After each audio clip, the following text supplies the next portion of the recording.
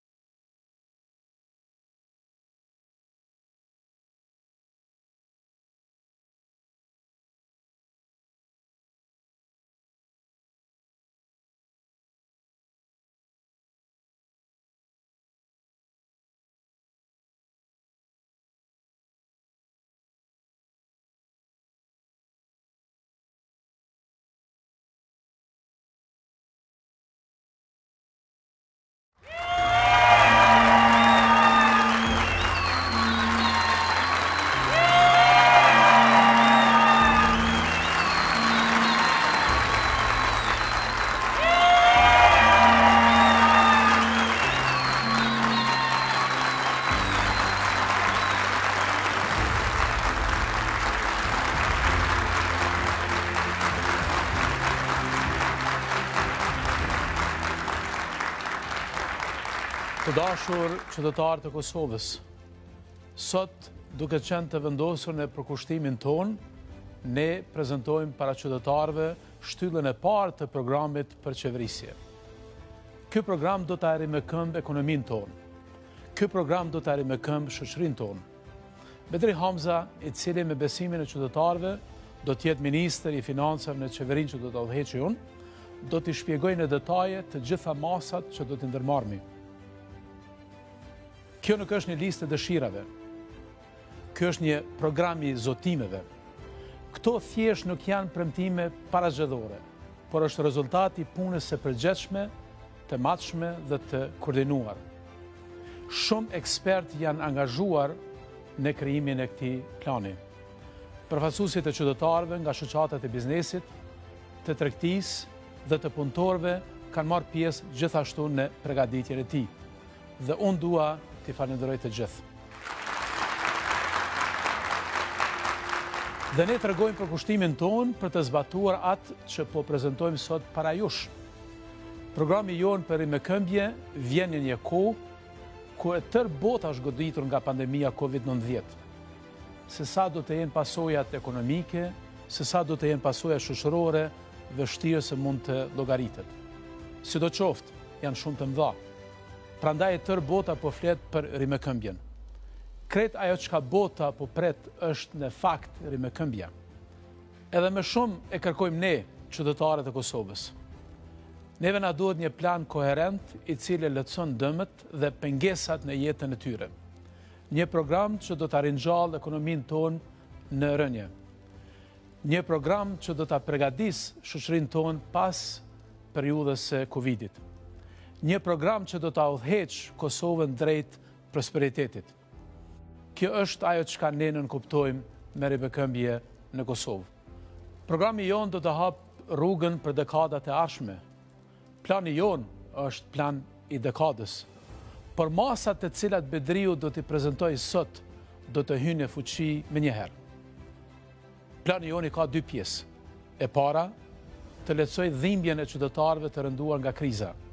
Dhimbje që është rënduar me menaxhimin e keq të pasojave të dy qeverive të vitit të kaluar. Së dyti, ne ofrojmë një pako stimuluse për të ringjallë ekonominë tonë.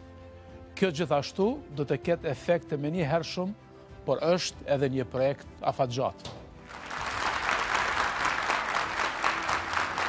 Ne në Kosovë duhet të kuptojmë se lidershipi i përgjithshëm duhet të ketë plan drejt një horizonti që zgjat një dekadë.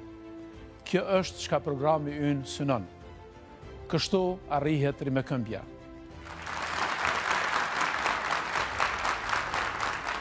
Me programin tonë ne po synojmë balancin e duhur ndërmjet kujdesit fiskal dhe zgjerimit për rritje. Me programin tonë do të arrismi eficiencën duke promovuar barazinë. Rimëkëmbja është për gjithë. Askush nuk do të lihet prapa. Me programin tonë ne pregatismi veten për sfidat e së ardhmes. Qytetarët e Kosovës duhet të jenë kampionë të periudhës pas Covid. Edhe me të rinjët inovatorë dhe digjitalë, më të informuarit, më të përgatiturit dhe Kosova do të jetë kampion.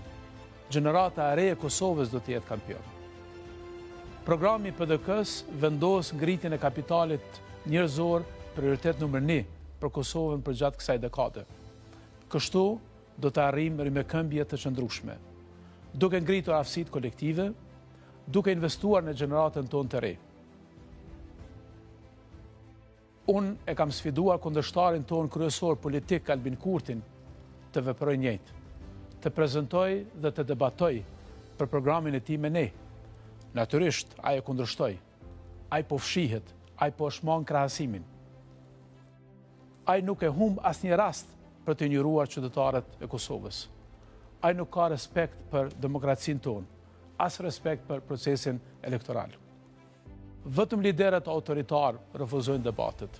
Vetëm liderët autoritarë i fshehin qëllimet e tyre. Vetëm liderët autoritarë i marrin rezultatet e zgjedhjeve si të mirëqena para se ato të ndodhin. Albin Kurti na tha që nuk dëshiron të debatojë me ne sepse i ka fituar zgjedhjet. Por me lejoni t'i them atij një gjë.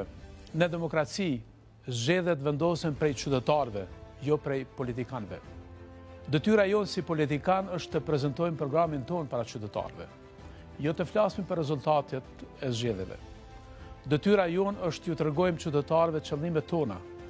Detyra jonë është përkushtimi ndaj qytetarëve me propozime konkrete, me oferta serioze. Kjo është çka bën PDK-ja sot. Kjo është ajo çka PDK-ja do të bëjë gjatë gjithë periudhës para zgjedhjeve. Dhe pastaj do të jetë momenti i qytetarëve, momenti i tyre. Vendimi i të cilëve duhet të respektohet nga gjithë, sepse kështu funksionon demokracia.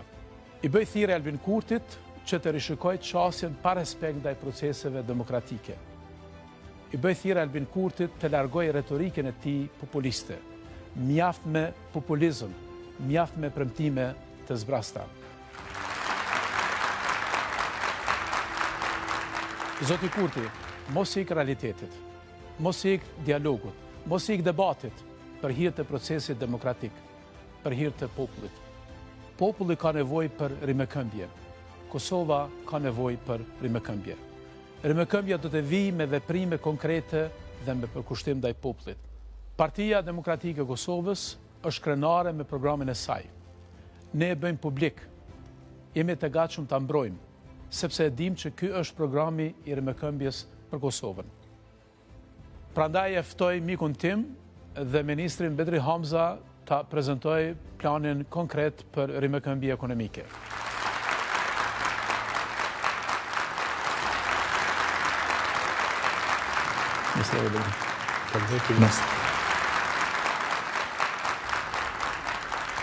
Faleminderit Kryeministër, të dashur qytetarë të Republikës së Kosovës, Partia Demokratike e Kosovës hyn në këto zgjedhje me program të qartë dhe me besim plot se do të jetë partia fituese. Këtë e bazojmë edhe në faktin sepse ne kemi kandidatin më të përgatitur, kryeministri i ardhshëm i Kosovës, profesori i nderuar Zoti Hoxhaj e ka përvojën akademike, e ka përvojën politike dhe e ka eksperiencën më të gjatë institucionale. Viti dy mijë e njëzet ka qenë vit i rëndë për Kosovën, ka qenë vit i rëndë për qytetarët e Kosovës, edhe në aspektin shëndetësor, edhe në aspektin ekonomik. Këtë situatë ekonomike e kem edhe si rezultat të pandemisë, por e kemë edhe si rezultat të mosveprimit të duhur vonesave të dy qeverive në vitin 2020 dhe vonesat në marrjen e masave jo të duhura, jo adekuate dhe jo të mjaftueshme për t'i adresuar nevojat e ekonomisë. Për këtë qëllim, Partia Demokratike e Kosovës ka programin konkret të bazuar, të matshëm, të kostushëm dhe me burime të qarta të financimit. Mbi të gjitha e ka edhe ekipen e cila garanton realizimin dhe zbatimin e plotë të këtij programi. Shtyllat kryesore të këtij programi bazohen në përkrahjen e sektorit privat, Pasi që sektori privat është bartësi kryesor dhe kontribusi ma i madh në rritjen ekonomike, kur jemi te rritja ekonomike, parashikimet janë pesimiste dhe kjo është si pasojë e mosveprimit të duhur të dy qeveri paraprake. Edhe nëse i referohemi dhonave nga Banka Botërore, nga Banka Qendrore e Republikës Kosovës dhe nga institucionet tjera, del se rritja ekonomike do të ketë normë negative e cila do të sillet rreth shtatë për qind. Për këtë qëllim, ne kemi nevojë për rimëkëmbje, ne kemi nevojë për gjallërim të ekonomisë dhe ne kemi nevojë që të kemi një rritje ekonomike dhe plani jonë thotë që rritja ekonomike do të jetë nga pesë deri në shtatë për qind. Për të arritur këtë normë të rritjes ekonomike, fokusi jonë do të jetë në sektorin privat. Ne parashikojmë një fond mbi një miliard euro me qëllim që ta përkrahojmë ekonominë. Dhe ky fond Është i ndarë në disa pjesë. Mbi pesëqind milionë euro do të jenë kontribute financiare pa kthim për ndërmarrjet private në Kosovë dhe mbi dyqind milionë euro do të jenë në këtë vit, në vitin aktual, vitin dy mijë e njëzet e një, dhe ku si kontribut dhe rezultat i punës së Partisë Demokratike, kjo ma veç është bo obligim ligjor dhe e kemi në ligjin për rimkëmbjen ekonomike ku Partia Demokratike e ka dhonë kontributin e saj maksimal. Përveç fondit prej mbi pesëqind milionë eurove, ne do të vazhdojmë me subvencionimin e normave të interesit njëqind për qind, mbulimin e normave të interesit, si përkrahje për bizneset dhe këtë me qëllim të përkrahjes së të gjitha bizneseve prodhuese, bizneseve të vogla, bizneseve të mesme dhe bizneseve të cilat merren me përpunimin, prodhimin dhe përpunimin e produkteve agroindustriale. Përveç subvencionimit të normave të interesit për ndërmarrjet të cilat i përmenda, kapitali për Fondin për Garantimin e Kredive do të rritet njëqind për qind, me qëllim, të lehtësimit të qasjes në kredi dhe kjo për ndërmarrjet e vogla, ndërmarrjet e mesme, ndërmarrjet fillestare dhe ndërmarrjet inovative duke përfshi edhe ndërmarrjet që përfshijnë ekonominë digjitale.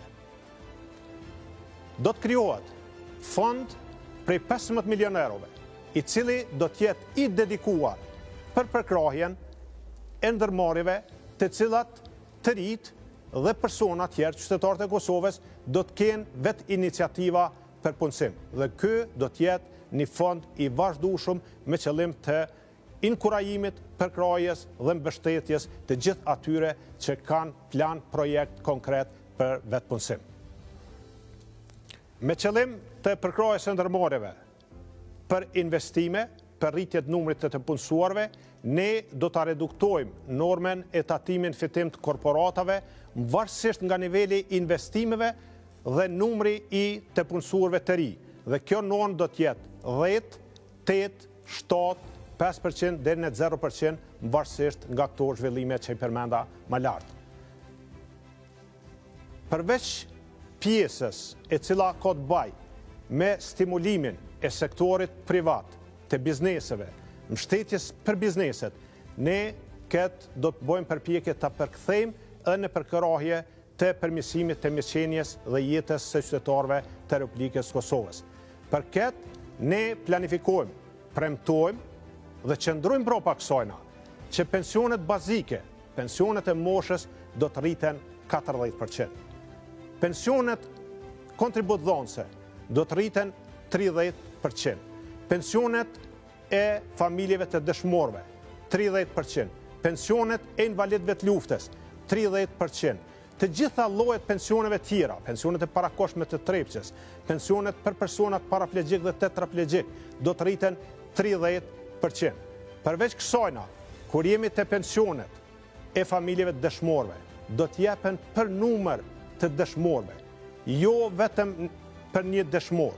Nëse një familje ka pas ma tepër se një dëshmor, ajo do të ketë mundësi të përfitojë ma shumë pensione.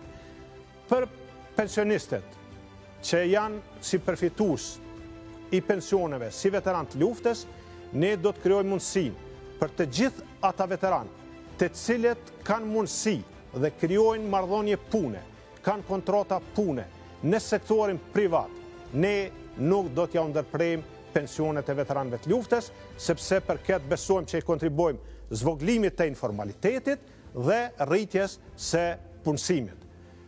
Ka edhe beneficione tjera, duke i përfshi edhe familjet në asistencë sociale, për shkak se fokusi jonë është përkrahja e sektorit privat. Norma e TVSH-së do të reduktohet për një numër të caktuar të produkteve, me qëllim të mbrojtjes së shtresave ma në nevojë, nga tetëmbëdhjetë për qind në tetë për qind. Kjo do të bëhet për arsye sepse disa produkte sot qëndrojnë në normën e lartë tetëmbëdhjetë për qind. Gjithashtu, duke pas për bazë që shtresat në nevojë, sidomos shtresat të cilat kanë nevojë për furnizim me barna të ndryshme, do ta reduktojmë dhe do ta zbresim TVSH-në në barna zero për qind. Përveç këtyre masave, të cilat kanë të bojnë me përkrahjen e sektorit privat, përveç masave, të cilat kanë të bojnë me përkrahjen e sektorit privat dhe masave të cilat kanë të bojnë me përmirësimin e jetës së qytetarëve, posaçërisht të pensionistëve të gjitha kategorive, dhe atyre që realizojnë të ardhura nga përkrahja në emër të asistencës sociale, ne në programin tonë fokus të veçantë i kemi dhanë edhe mbrojtjes së të punësuarve në sektorin privat dhe për këtë qëllim, paga minimale nga njëqind e shtatëdhjetë euro, sa është aktualisht do të ngritet në treqind euro. Përveç ngritjes së pagës minimale nga njëqind e shtatëdhjetë në treqind euro, ne do ta amandamentojmë dhe do ta plotësojmë Ligjin e Punës, i cili do të jetë si garancë për mbrojtjen e të punësuarve në sektorin privat dhe të sektorit privat dhe për këtë qëllim do të rritet edhe numri i inspektorëve të punës me qëllim që ky ligj të zbatohet sa ma i plotë dhe sa ma saktë. Përveç kësajna, ne kemi parapa që të gjitha ndërmarrjet, të cilat pagën mesatare e kanë mbi pesëqind euro, po flasim për ndërmarrjet private, atëhere si rezultat i kësajna ne t'i stimulojmë dhe t'i inkurajojmë këto ndërmarrje, norma e tatimit fitim të korporatave do të zvogëlohet nga dhjetë në pesë për qind. Këto nuk janë zotimet edhe premtimet tona të fundit. Përveç masave të lartcekura, ne zotohemi dhe premtojmë se do të ketë rritje të pagave për të gjithë ata që realizojnë paga përmes buxhetit të Kosovës, edhe punëtorët shëndetësorë, edhe shërbyesit civilë, edhe arsimtarët, edhe policët, edhe ushtarët dhe gjitha kategoritë që përfitojnë paga nga buxheti dhe kjo rritje do të jetë tridhjetë për qind sigurisht do të ketë atillë që do të thotë se kjo nuk mund realizohet ne e bojmë ne e bojmë se e kemi bo në të kalumen në të kalumen na kanë thonë që s'moni me bo po e kemi bo E kemi bo sepse e dimë që e meritojnë. E meritojnë mjekët tonë. Nuk është e mjaftushme veç që t'ju thuhet se ju jeni heronj të ditëve të sotme. Po edhe të përkrahen, të stimulohen dhe kjo do të ndodhë me qeverisjen e Partisë Demokratike dhe me zotin Hoxhaj si kryeministër i qeverisë së Republikës së Kosovës. Po përmendi edhe një prej reformave ma të mëdha që do të bëhet në fushën e politikave fiskale dhe kjo është kalimi i mbledhjes së TVSH-së në brendi me qëllim të rritjes së likuiditetit të ndërmarrjeve që ndërmarrjet mos ta paguajnë tatimin në kufi ende pa i shitë mallrat e tyre ende pa i shitë produktet e tyre, po këtë ta paguajnë pasi që ata t'i shesin mallrat dhe produktet e tyre dhe kjo e zvogëlon koston për ndërmarrjet që merren me aktivitet ekonomik dhe normalisht e rrit likuiditetin e këtyre ndërmarrjeve. Kosova ka nevojë për një qeveri e cila qeveriset nga Partia Demokratike e Kosovës, për një program të mirë, të qartë, të matshëm për rimëkëmbje ekonomike dhe për një ekip e cila është garancë për zbatimin e atij programi. Kjo ishte vetëm një përmbledhje e programit Partisë Demokratike për pjesën e ekonomisë dhe sigurisht se ditëve në vijim në detale do ta shpalosim programin tonë. Më lejoni gjithë juve Dhe gjithë qytetarët e Kosovës, anembanë kënd, t'ju falënderoj dhe bashkë me kryeministrin Hoxhaj jemi shumë mirënjohës për përkrahjen e juve të vazhdueshme dhe besoj edhe në të ardhmen. Faleminderit shumë. Faleminderit gjithëve. Faleminderit kudo që jeni në Kosovë. Faleminderit.